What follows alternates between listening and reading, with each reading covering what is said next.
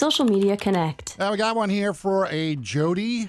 Is that you, Jodi? I think so. Uh, from Holly, it says, Jodi, this made me think of you and Wow Wednesday. Uh, I'm a teacher in a rural, rural high school.